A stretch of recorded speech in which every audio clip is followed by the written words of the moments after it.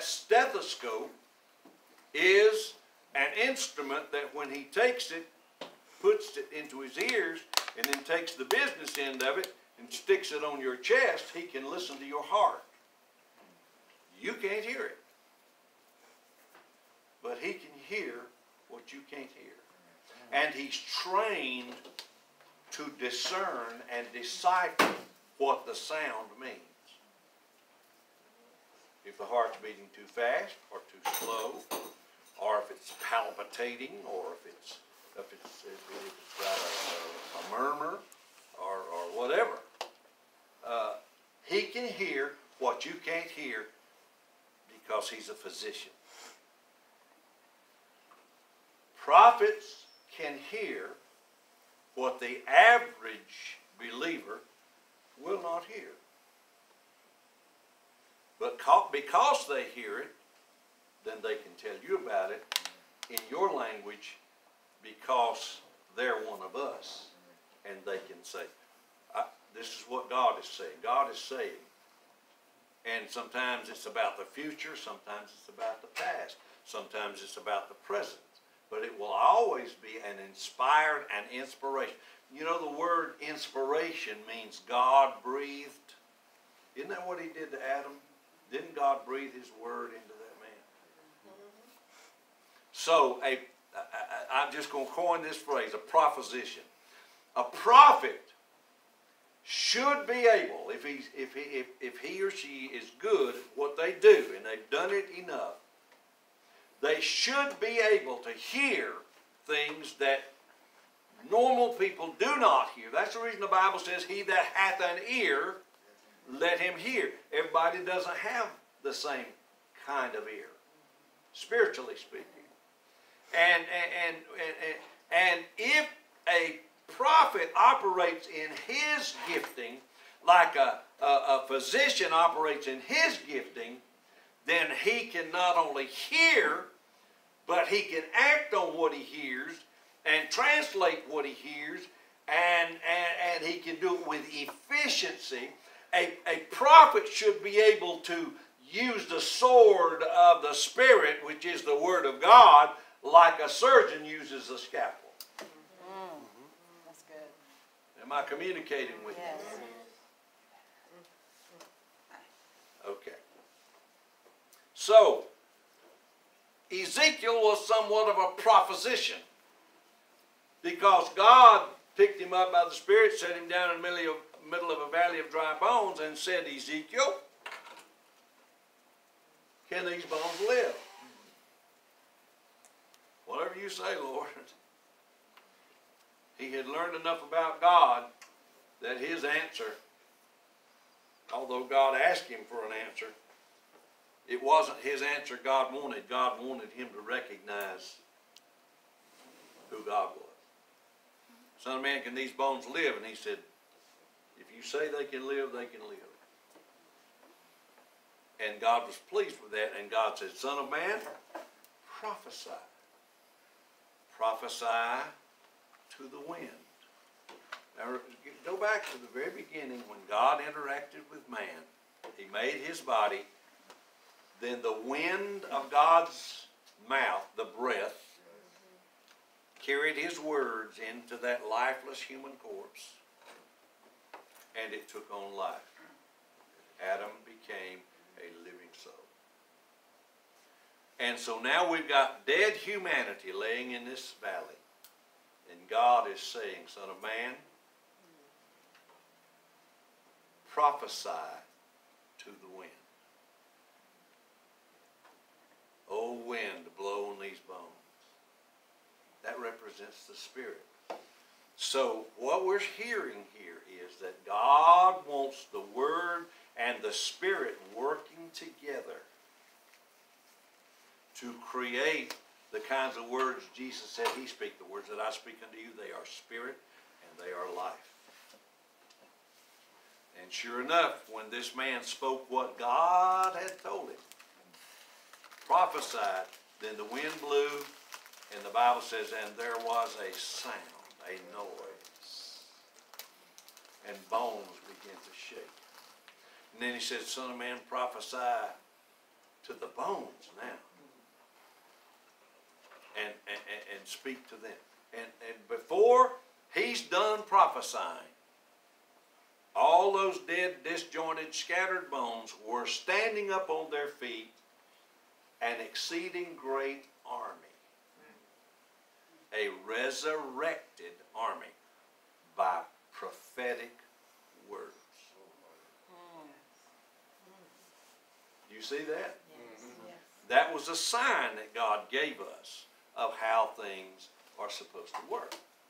Now, so I call Ezekiel a proposition because he used the Word of God with laser like accuracy and resurrected not one person, but a whole army of them.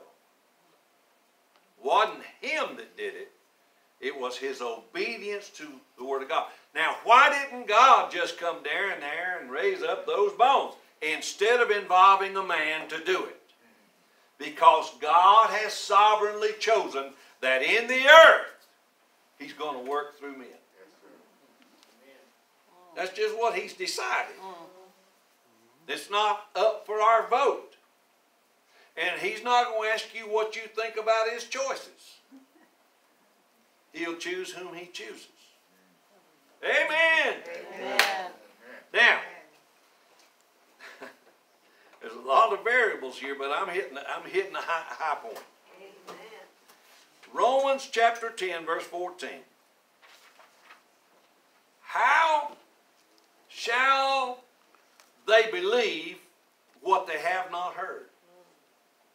And how shall they uh, uh, uh, hear without a preacher? That's a question God asks. How can they believe something they haven't heard, and how can they hear without a preacher, without somebody to tell them? Because everybody doesn't have an ear. He that hath an ear, let him hear what the Spirit saith.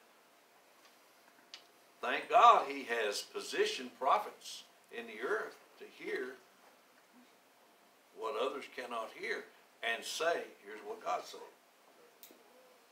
Amen. Just like a doctor. You don't feel bad at a doctor and you don't feel stupid sitting on the examining table. If that doctor comes in with his stethoscope and hears something, you can't. You don't feel stupid. You don't feel uh, shunned or, uh, uh, or prejudiced against. You you thank God that that man is there to listen and to hear and to tell you what he hears.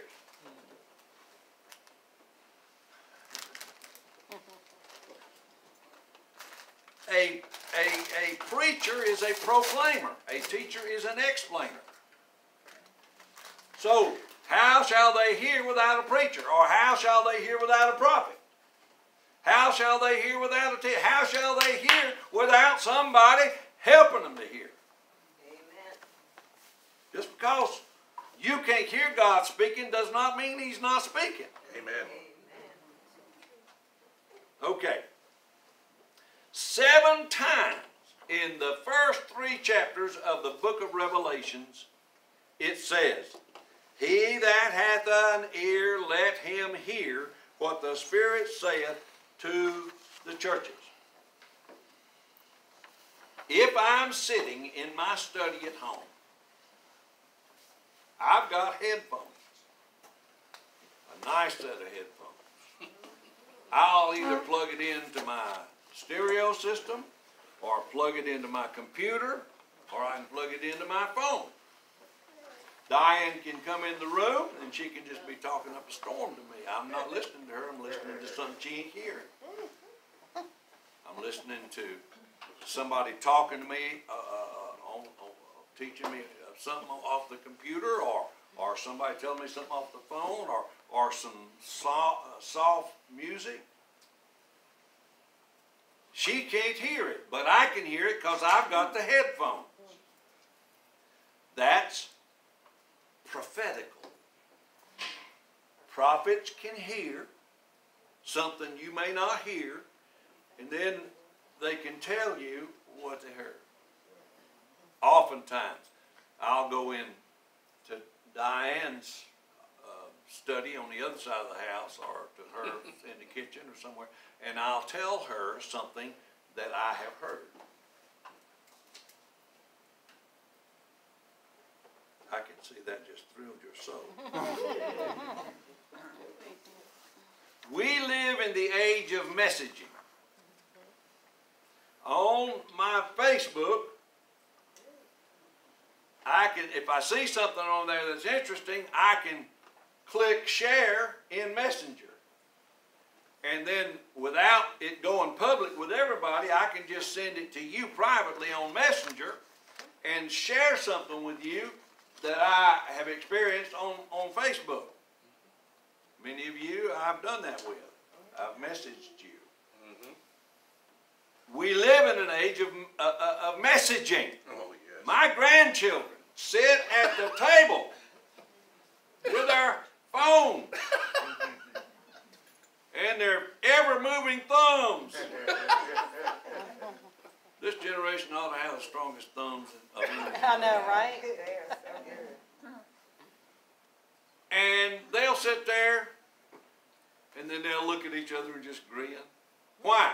They messaged and shared something. They didn't have to say it out loud. They just shared it electronically. Yeah. Mm-hmm. Comes natural to them. It don't come natural to me. Yeah, me neither. I'm, I'm gonna say, what are you grinning about? What are you? Were you talking about me? Sometimes they probably were. But you know, it's an age of messaging where you get it, you can hear it, you received it, but the person beside you didn't get it. That's why we need the prophetic in this generation. Because everybody doesn't have the headphones or the stethoscope or the ear plugs or bugs or whatever you call them. Matthew 24 5 says this In the last days, many shall be deceived. Why? Because they're hearing the wrong stuff. They're hearing the wrong things. The Bible talks about people who are dull of hearing. I mean, you can, I, some people just act as dumb as a sack of rocks. Just, you can tell them, you can tell them point blank. And they walk away and say, duh, duh, duh. They just, they don't, just don't get it. You can tell them, they still don't get it. But there will be a generation who will be very highly deceived because they're not hearing the right things. They're hearing the wrong things. Because not only are there prophets, there's false prophets. Mm-hmm. And they're not just in the church, they're in the world.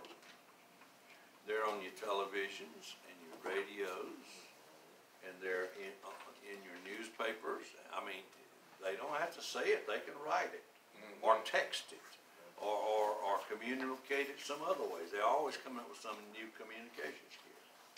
Yes, ma'am? What's the difference between hearing and listening? Ooh, good. You can listen and not hear. That's true. You know, the Bible says that uh, when Jesus was in a certain place, the Spirit of the Lord spoke out of heaven. Jesus understood exactly what God said, Good. but those with him thought it thundered. Good. Same thing happened with Paul. Paul on the road to Damascus. The heavens open, a bright light shines, knocks Paul to the ground off of the donkey he was riding on.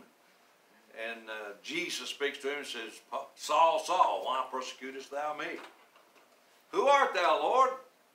He not only hears him, he's answering him. I am Jesus, whom thou persecutest. He said, What will you have me to do, Lord? And Jesus tells him, Get up, go on straight street, and I'm going to send somebody over there to pray for you so you can be healed. And uh, sure enough, he does it. But, but by Paul's own confession, those men that were riding along with him didn't hear all of that They simply thought it thundered. Explain that to me. I don't know. Wasn't for them. But I do know that if you got an ear, you can hear it. If you got some headphones, you can hear it. You understand what I'm saying? That's a good Okay. question. Now, uh, let me ask you a question. I've, I've done some talking. How could Lazarus, who had been dead four days in the tomb behind the, stone, how could he possibly hear the voice of Jesus? He's dead. His ears are not working. How could he possibly hear Jesus say, Lazarus, come forth? Yes, ma'am. It's a divine connection. It's a divine connection. I can't hear you, you got a mask on. No, I'm just kidding. I'm kidding. I'm kidding you. By the way, the mask is a sign of this generation. It covers your mouth. That's all I'm gonna say about it. That's all I'm gonna say about it, but that's a sign. Okay, I'm playing with you. You know that. Now, tell me again your answer. A divine connection. A divine connection. Okay, a divine connection. Yes, ma'am. I would say that, that, that dead corpse had to respond to the word. Okay. The word has spoken. Yes. But he still didn't have any ears. Mm. I mean, he had ears, but he was dead. Mm-hmm. When you're dead, you, you don't hear anything. You can take an alcoholic that's addicted to alcohol and set it, set a bottle on his chest, but if he's dead, he don't. He don't know it's there. Yes, ma'am. Spiritual ear. Spiritual ears. Okay, yeah, there you go. We are a So strong. spirit, not just a body. Jesus spoke. My words, he said, are spirit and they are alive. Lazarus found that out firsthand. Yes. If I may, his body was dead as a doornail. All Exactly. body systems gone. Yeah. His spirit was still very much alive. Your spirit's never dead. Your spirit's gonna live on for eternity. Either in a good place or a bad place, but it's still gonna live. You will not die spiritually. As a matter of fact, when your spirit leaves your body, that's when your body is dead. It's not when your heart stops, it's not when your brain quits functioning, it's not when your other organs fail. When your spirit leaves your body, your body's dead because the only life in your body is your spirit. Hello! Hello, yes. The spark is in the spirit. So Man, is that's that good. why That's, the, um, that's a good bones, preaching. is that why the bones came alive when he, you know, can these bones live? Even the dead bones heard the word of God. Yeah. Even, well, look, we're told that, that, that a rapture is coming, a trump of God shall sound, and, and the archangel shall appear, and, and uh, they that are dead shall rise up, and we shall meet the Lord in the air together, and so shall we ever be with the Lord. How's all them dead people gonna, gonna hear that? By the Spirit. By the Spirit, not by the flesh. If you have only carnal ears, you don't hear God. But if you can circumcise your ears, that means make them dominantly spiritual and not flesh. Cut away the flesh. Then you can hear from the Spirit world. Yes. Yes, ma'am. Did Lazarus die again? He did. Okay. And this time Jesus didn't resurrect him. That's But he did die again, yeah. That was, um, he wasn't resurrected for all time. He was just resurrected for a few days. And it was a sign because Jesus was trying to teach Ma- Martha and Mary, his brother, his sisters, that he was not only the healer, he was the resurrector. And he proved that. The Bible says they had a party later. It says in their vernacular, but it said they had a party and Jesus was there and Lazarus was there. And more people came to see Lazarus than, they- than they did come see Jesus. Ain't that, ain't that just like people? Yeah, I mean, isn't that like people? Yeah. They worship the blessing more than the blesser. Mm-hmm. They'll, they'll, they'll take more, more time with the, with the creation than the creator. Amen. We strained at a gnat and swallowed a camel. Now, the age of messaging. You get private words without everybody, any, anybody even knowing you got them. That's because you are equipped to hear. And if you are equipped spiritually to hear spirit, then you've got an ear to hear. Now, the world is filled with pathways. Trust in the Lord with all thine heart, lean not into, unto thine own understanding, in all thy ways acknowledge him, and he shall direct thy paths or pathways. Science tells us there's pathways in the brain. Why we got a memory and why we can function mentally. Uh, there's frequencies. This TV here and this uh, radio and tape player here is on a different frequency. They're powered by the same source, but they're on a different frequency. Waves, sound comes in waves. Did you know that sound travels through air at 720 miles per hour? Mm-hmm. That's when you got a sonic boom, when a jet goes faster than the speed of sound Wrote the sound through the air. He, he'll whiz by, and you'll see him over there, and all of a sudden you hear the boom over here when he when he passed that threshold of 720 miles per hour. So sound travels through air, vibrations, at 720 miles per hour. But science has found out that sound waves travel through rocks at about 10 or 15 times faster than that. The earth hears the voice of God. they hear God's vibes. Jesus spoke to a fish and told it to bring Peter a coin. Jesus spoke to the wind and the waves and it heard what he said. okay.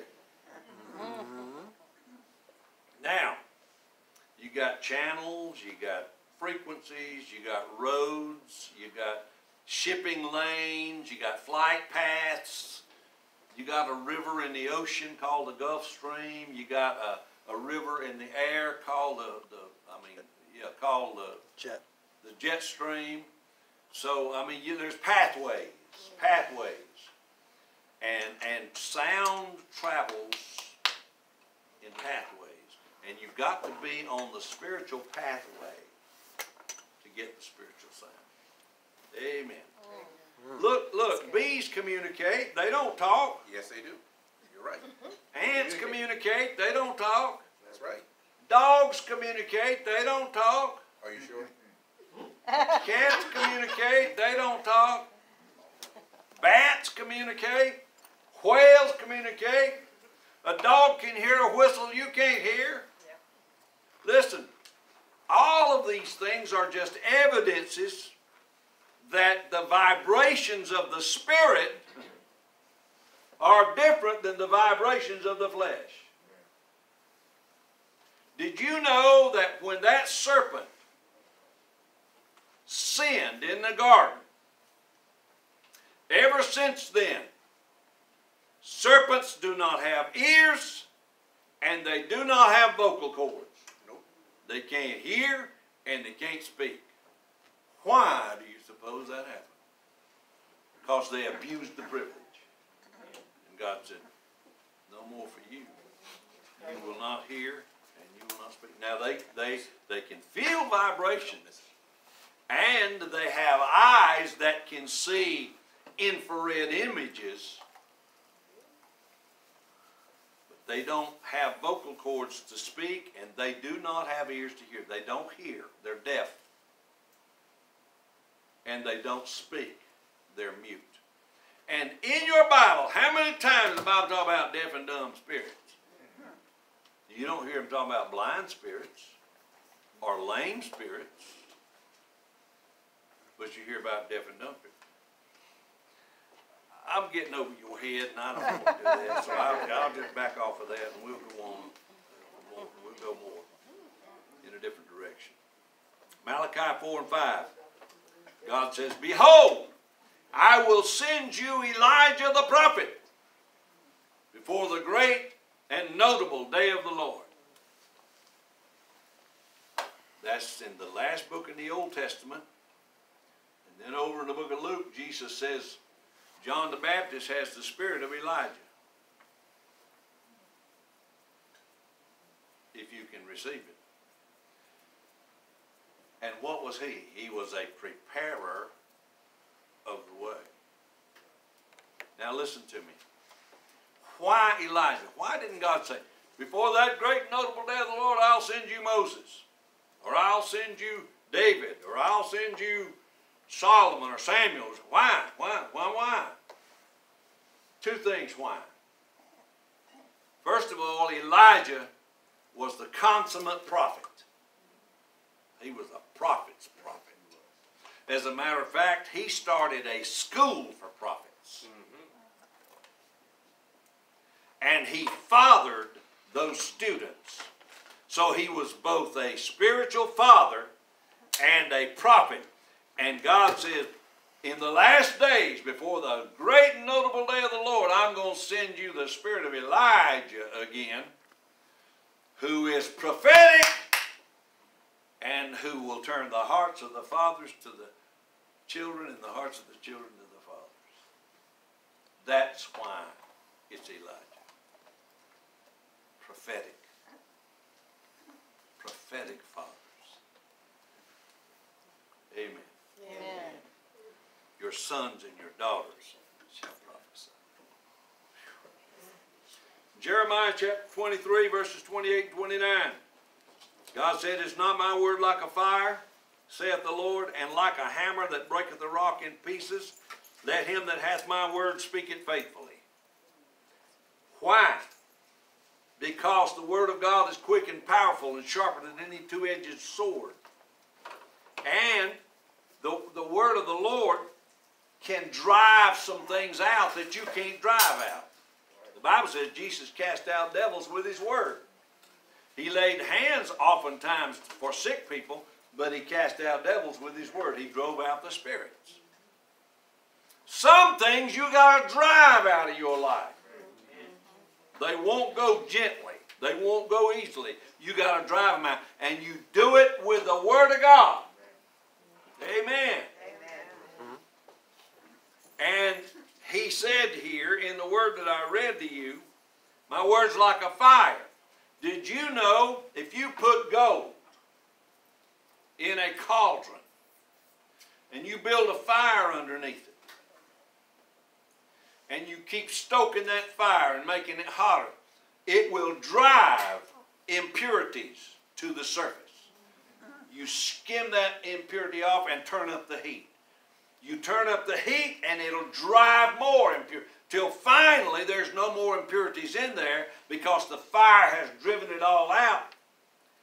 And the, the, the, the one who's doing the melting can look over into that cauldron and he sees like a mirror in that melted gold. He sees his own image. And that's what God's trying to do with his children. He, he keeps turning up the heat to get rid of the dross so that he can see himself. He made the man like him. He wants to see that again. Amen. Now, here's the thing. The fire of God's word, he said to, he said to Jeremiah, is not my word like a fire. If you want to turn up the heat on the devil, turn up the word. He said, it's like a hammer that breaks a rock in, in pieces. Listen, that hammer is gonna, is gonna, is gonna, uh, no rock gonna stand against the hammer. You take the hammer and that rock's gotta get out of the way, it's gonna move, it's gonna disintegrate. Why? Because the hammer will break the rock. And God said, My word's like a hammer and it's like a fire. It'll, it'll, it'll drive something. It'll, it'll move something. It'll change something. And sometimes you gotta drive the word of God home before the devil will even listen to you. Or before your sickness will listen to you. Or before your trouble will listen up and go away. You gotta drive it home with the word of God. That's the reason prophets are important. They are carriers of this kind of power. Words. My granny used to have an old black wash pot. On on uh, wash day, she have a clothesline out behind the, the house, and she'd take the white sheets and the bedclothes, and she'd put them over in that old black wash pot, stoke up the fire underneath it, and put some red devil lye in there. Take a big stick and poke them things around and stir them up real good, you know, and crank up the fire and all that. She's driving the stains out of the sheets. Then she'd hang those sheets up on the clothesline. Listen, you could tell when it was wash day in the community because it was a sea of white and all the backyard just sheets flowing in the wind. But you had to force those stains out. You got to turn up the heat and drive them out. They won't go gently and they will not go willingly. And demons are like that, devils are like that, trouble is like that. The devil himself is like that. You got to know some word to drive some things home. Okay, now, Jeremiah 1 and 8, he says, Jeremiah, don't be afraid of their faces. Whose faces? The ones he was supposed to speak the word to. I know a lot of pastors that's afraid of the faces of the ones they're supposed to be preaching to. Amen to that. They won't preach the truth. And those people will never be the salt of the earth because they're too sugar coated.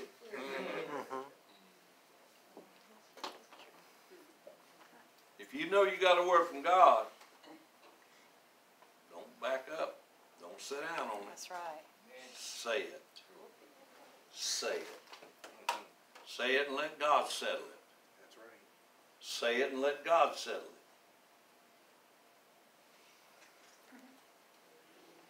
The fire drives out the dross, drives it to the surface, and he'll do it in your life. Jesus drove out the money changers. The Bible says he drove them out. They didn't, he didn't ask them nicely to leave. He drove them out. Took a whip, beat them as they left. And he was, don't get, don't ever doubt the fact that he was talking to them while he was driving them.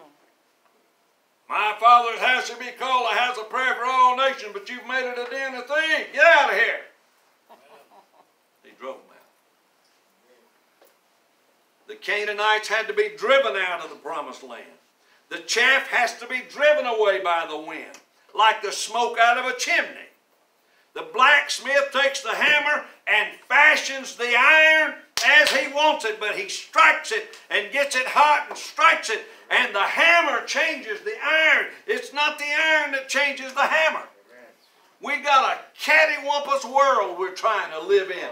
And people are so messed up and they're setting the laws and setting the standards and making the making the the the the, the, the things set and clad that you, that you got to operate by. You better cut, you better have a mask on to come in here. Mm-hmm. I went to a place the other day. Went to the post office. Here we go. I didn't wear a mask. You're in trouble. I just went in. I only one in there didn't have a mask on. Somebody said, "Well, you just stubborn." No, I'm not. I am stubborn, but I'm not just stubborn. So I, I mind my own business, kept my head down, and just went through the line. Finally got up there, and the woman, you know, they got these big plastic things that shield them, you know, and everybody's got a mask. And uh, so she's punch the button and, you know, and this and this is gonna cost you so much and this. time. And all of a sudden she looks at me, she says, you don't have a mask on. Correct. She said, if I'd have known that, I couldn't have served you. Oh, I said, whatever. do you want me to leave? She said, well, no. I said, I don't have a mask. She went ahead and finished me out and said, have a nice day, sir.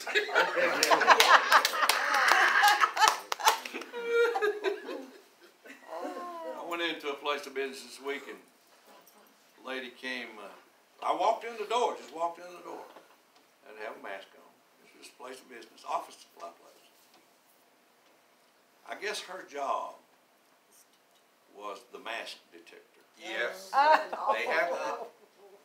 Nobody, So I walked in the door and, and I'm walking back toward the ink because I was going to get some ink. Sir, sir, sir, you gotta have a mask on to come in here. I wanted to say, there is no mask mas- mandate in the, in the state of Georgia. That's right. There's not. just in DeKalb County. Anyway, I didn't say that, didn't say any of that. And, and I looked at her and said, I don't have a mask, lady. She said, well, here's your one. I took it and put it on, went over there and got my ink, cause I wasn't gonna argue with her about it. But I'm not gonna drink Kool-Aid either. I'm, I, please don't misunderstand me. I'm, I'm not, I'm not saying that if you wear, wear a mask, you, you are, know. look, we got masks in here today. And we got masks up there for you to get when you come in. If you want it, And we've got them up there for a reason. But the fact is, the Lord spoke to me about this flu virus, the Wu flu, and told me about it from the very beginning, months ago. He told me about it. He said this virus is extremely susceptible to faith. Yes, mm-hmm. Yes, it is. Right, And so I've never worried about it since then. yeah, me either. Okay, anyway, I'm not gonna give it to you, and that's what the mask is for, but they don't work anyway, and scientists tell you it don't work. that's true. Mm-hmm. That's right. Settle down, Davis. But it's true. That is true. Wear your mask. Wear them. That's fine with me. I don't care. I'm not gonna fuss at you, but don't fuss at me if I don't. Right. Tell 'em. Just to back up my little, my older brother here, he found something on a Swedish website that breathing in the mask actually does more damage, if I'm correct, Joey? He actually found that out, and I said, I'm not surprised. Well, I, I read a report the other day that said that wearing a mask consistently increases your risk for cancer. Yes, mm-hmm. throat cancer. I, I'm not, I don't understand that, don't know how that works, but I, Read it too. Throat and lung cancer. that's like, that's like, they pass a law and say you got to wear a seatbelt. Think about this. But you, Why? If I have a wreck and I'm not wearing a seatbelt, it's not gonna affect anybody but me. Mm-hmm. So why you got to tell me I have to have on a seatbelt?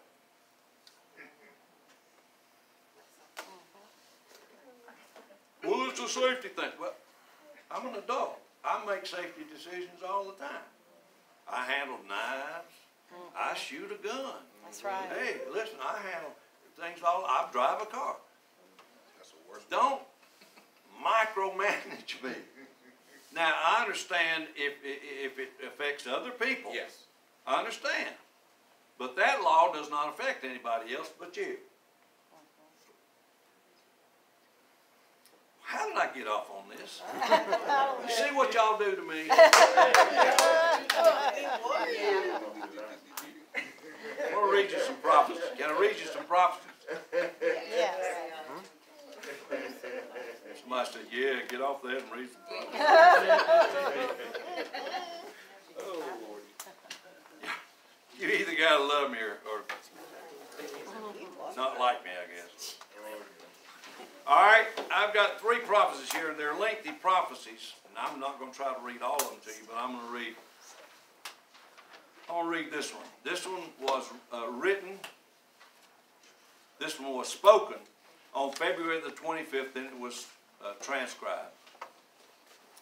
Uh, this person this prophet, and I, there are several people, there's at least a dozen people that I know of that I think are valid prophetic gifts to the body of Christ. This is one of them. Praise be to the Lord God, Ruach Elohim, the Spirit of the living God, who is everlasting, omniscient, omnipotent, the Alpha and the Omega, the King of kings and the Lord of lords, and to his kingdom there is no end. Pretty good way to start prophesying. Mm-hmm. And the Spirit of the Lord says this day, Rise up, my children, rise up. For in this hour, my children, for in this hour, my children need to rise up and stand firm in whom they have believed, for deliverance is coming. I'm going to skip because everything's not pertinent here, but I want to, I want to get the high. And says the Spirit of the Lord this day, uh, so as it was in the book of Esther, so shall it be. So you shall see the same come forth before your very eyes. For there are those I have chosen in this hour in the political arena, in the judicial arena, and in the prophetic arena. Lawyers with a call, and those over the airwaves, men and women in this hour, I have chosen to rise up and speak truth and lead my people through this very narrow path, a path being carved in order to snatch the country back from the grasp of serpents, from the grasp of the dragon, from the grasp of Baal, from principalities and rulers of darkness in high places, says the Lord of hosts. And says the Spirit of the Lord this day, the captain of the army of the Lord of hosts has been dispatched along with warring angels to do just that, war, and cut the serpent that has entwined itself around the feet and the wings of the eagle, attempted to squeeze and constrict it until there is no life left. However, says the Lord, I have given the command from my throne, and I have dispatched the captain and the warring angels in this hour to lead you in this battle as they cut in pieces the serpent from the eagle. For I, the Lord, have taken mercy on the eagle for my sake and for the sake of my children. A remnant crying out, Repent, repenting, seeking my face. A remnant crying out in the wilderness, saying, Prepare you the way of the Lord in this hour, and a way, says the Lord, I shall make. For as in the book of Esther there was a sudden change of events, as a few brave I had chosen within the kingdom for such a time as this, submitted and listened to their Father in heaven and positioned the king, uh, exposing the plots of the wicked Haman of, of Lucifer, whose attempt to destroy the Jews, so the seed of my son Jesus Christ would not come forth. And says the Spirit of the Lord this day, there is a plot with currency, dirty money, laundered through China and back, laundered through Iran and back, laundered through Germany and back, says the Lord of hosts. The plot shall suddenly be exposed. And I, the Lord your God, have a plan and a purpose in this hour, and you shall see an unusual sign in spring. To confirm this, as I am putting hooks in their jaws and leading them out to be judged and removed, says the Lord of hosts, like roaches, unclean in the political arena, judicial arena, corporate arena, and the church. Roaches and rats, says the Lord of hosts, and now there shall be an extermination. That is the beginning of, uh, pest control is beginning and shall take place in the most unusual ways. For when I, the Lord, act, when I, the Lord, demonstrate my power, it is unprecedented, says the Lord. And says the Lord of hosts, this day a major earthquake in the part of the world where Turkey lies shall shake that area, and leadership shall be exposed, says the Lord of hosts. And says the Spirit of the Lord this day, I am turning the tables over. For there is much evidence underneath the tables. Secret compartments shall be found, says the Lord, and evidence shall come forth as there is rumblings within the government, and disloyalty is growing, says the Lord of hosts. And now, my children, I have I shall contend with those who contend with you. I shall fight against those who fight against you. My children, take up shield and buckler and stand up for your help. Stand up for your help. Draw out the spear and close up the way of those who pursue and persecute you. The Lord is your deliverance. The word deliverance shall be echoed in this hour as a major blow to Washington, D.C. and its internal workings, and a major breach shall send them scrambling, says the Lord. And says the Spirit of the Lord this day, those who speak blasphemies against me and against my children who are supposed to be in pub, those people who are supposed to be in public, uh, public servants, you wicked servants, says the Lord, you wicked servants, I gave you time, I gave you mercy in good measure. However, now is the hour, says the Lord, that you will see those public servants suddenly fall. Such disgrace shall cover some that they shall hide their face. And says the Spirit of the Lord this day, the people are restless. I see the restlessness, says the Lord, in the hour. Stand firm in your faith and in truth. Cling to it. Those filled with truth shall boldly speak my words in this hour, and you shall see what they what what they speak happen. Ha, says the Lord, for I laugh at the wicked, for their hour is upon them. Their demons and gods will run with fear and trembling as I, the Lord, and my spirit completely consume their circumstances. And says the Spirit of the Lord this hour, the people are perplexed as they see a show being acted out. There is a whole other act being perpetuated behind the curtain, says the Lord, and I, the Lord, shall grab a hold of that curtain and tear it and expose the dark side of their business that they have scrambled in the dark to continue, says the Lord of hosts. And says the Spirit of the Lord this day, this is only